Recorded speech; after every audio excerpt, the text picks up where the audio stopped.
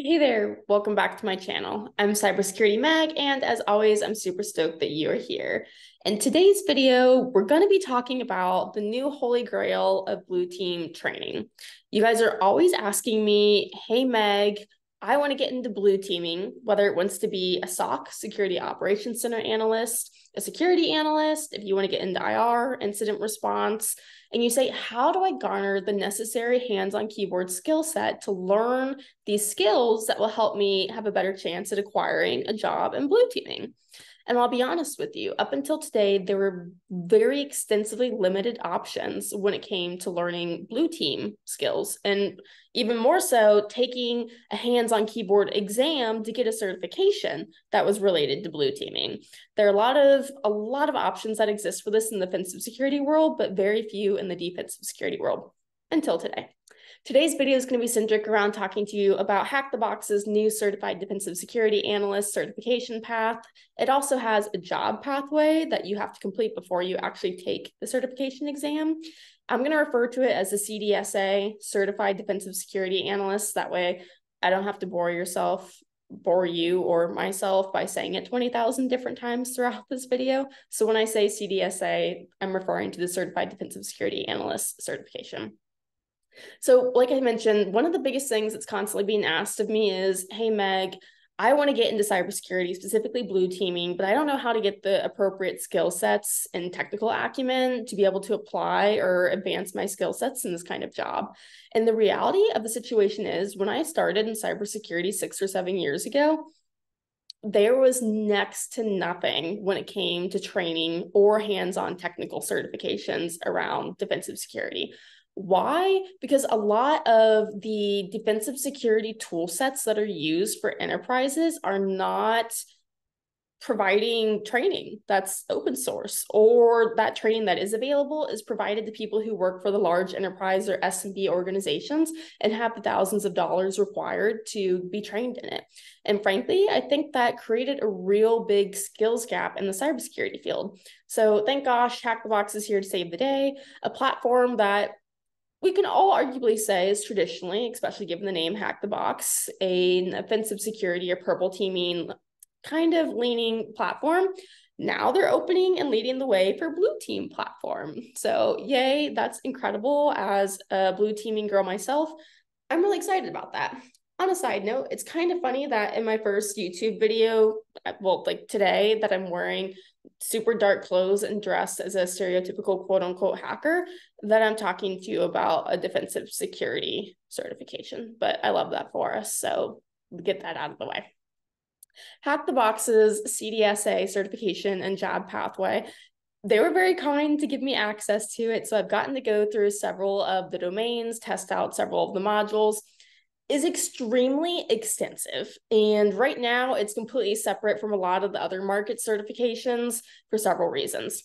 One, it's comprised of eight specific domains that are going to allow you to garner the necessary technical acumen to be successful in a hands on role when you acquire the certification a lot of the certifications on the market nowadays for defensive security don't require any hands on training.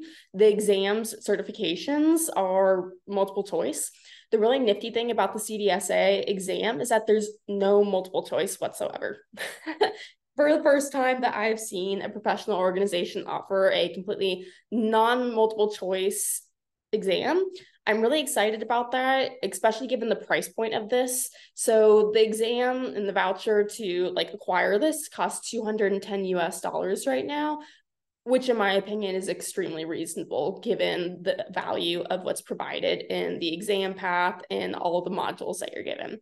So it covers eight different domains from things leaning all the way from SIEM like ELK and Splunk, all the way down to things like incident response, digital forensics or DFIR, SOC, security operations. And then that's broken down into 165 different sections throughout those eight different domains. So eight domains, 15 different modules that are comprised of those within those eight domain topics and 165 sections. What I also really like about this is that you don't need any fancy tool sets or anything to actually take the exam. I know for a lot of people, it's complex taking these hands on technical exams because they require setting up like a virtualized environment and garnering all this licensing and tools and extraneous things to be, to be able to even take the exam. But the really nifty thing about the Hack the Box CDSA exam and certification is literally it's all built into the browser. All you need is a VPN connection. So I really enjoy that, especially because this exam is targeted towards people who are entry level SOC analysts, entry level looking to get into IR, anything quote unquote entry or intermediate level. It's providing you the basic environment that you need without having to go through all the extraneous hoops of garnering different licenses and whatnot to take an exam, which to be honest, I really enjoy that because I'm lazy and I don't want to have to set up and buy a bunch of different things to take an exam. So that said, why I really like the CDSA, I've gotten to go through. Hack the Box is really kind enough to give me the license to go through and play around in it. One, ease and efficiency like I said, everything is built into browser. So there's no setup, there's no emailing hack the box and saying, like, what the heck, I can't access anything and being super stressed and then just kind of giving up because you can't even access the content that you need to study to take the exam. Been there, done that, haven't we all? So I love the ease and like ease of access. Number two, how extensive and in depth the content is. I've read a lot of and participated in a lot of content in my years in cybersecurity. And specifically, I specialize in incident response, cloud security, SOC, all the normal blue teaming or defensive security things. I've gone through several of the modules for this certification pathway. It is some of, if not the most extensive content that I have been able to partake in.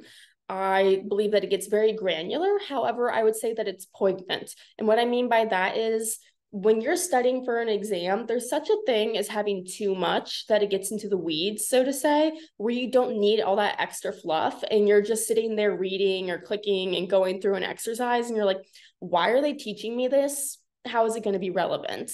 So I really enjoy how poignant and in depth the content is with leaving out the extra fluff. The third thing I really love about the CDSA is how relevant it is to the industry. So once you go through this job pathway and complete the 15 different modules, you are only then, once you've completed all 165 sections throughout the modules and domains, allowed to take the exam. And I'll get into another part of why I like this later, but the content that's packed into this learning pathway is extremely relevant to the work that I have done and continue to do on a daily basis, which I think is extremely rare to find. Oftentimes, if I'm studying for an exam, a lot of it's not relevant to things that I would be doing in a normal day to day job, but all of the key skill sets in a vast majority of what I'm reading, the content that I'm consuming, the exercises that I'm doing, because this is completely hands on, a lot of it it's all relevant to what I've done in my enterprise jobs over the years, which I think is fantastic. I'm not the kind of person that wants to study for an exam and have it be irrelevant to what I'm doing in my day job. I know that happens sometimes, but it's not ideal. Of course, you want what you're learning to be able to translate over to the skills you're going to need to get a job or to upscale your skill set in a job. So that's something that I I think is just incredible one of the other things that I really love about the CDSA is that you can't just finish the job pathway, the modules and the sections, and then be certified. It's not how it works. So you do have to finish all 165 sections in order to even unlock the exam. But once you are taking the exam, here's what's really nifty about it like I mentioned, there's no multiple choice whatsoever, which, if you're like me, I think that's great. I'm tired of the exams that are just rote memorization and testing what port number is this? you know, uh, yeah, this is great information to have, but I'd, re- I'd much rather be tested on things that are going to be more interchangeable with the real world, right? So this exam requires creativity. It requires, you know, actually correlating data. It requires real life hands-on skills that you're going to be using and applying in an entry or intermediate level blue teaming job. Uh, so again, one of the really nifty things, which I haven't mentioned, but when you are taking this exam, the last thing you're doing in the exam is you're providing a commercial grade report on the organization and discerning like oh this is your risk level or risk assessment. This is how the incident was handled. So it's really following through the entire life cycle of what you would do in a genuine real life real world defensive security job obviously when you're working in a real defensive security job for an enterprise smb what have you you're not just going to stop at figuring out the problem like oh heck we've been attacked what do we do? You're going to discern this is why we got attacked this is how we got attacked this is how we prevent ourselves from getting re-attacked this is how we fix the attack. There's an entire incident response life cycle that you're going to go through. And of course one of the key portions of that is providing report back to your superiors your c-suite your manager managerial personnel so that you can provide your recommendations on what should we do differently? How can we do this better? What are our strengths and weaknesses? And that is a part of the cdsa exam which frankly i think is really really incredible because I haven't seen that on any blue team exams.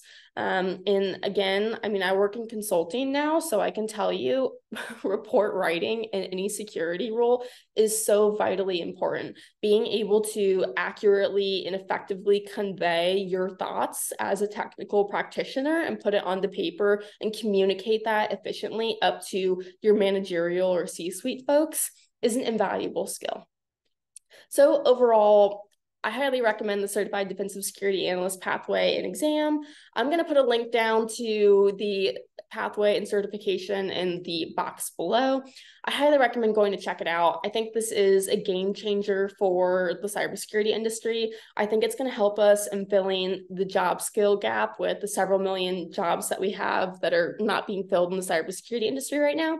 And I think it's a really big turning point for the cybersecurity market, to be frank. I think this is really the first time that we're seeing a hands on defensive security pathway that also provides a very valuable and realistic certification exam with a certification at the end that you can, of course, put onto your resume to help you garner a job in cybersecurity.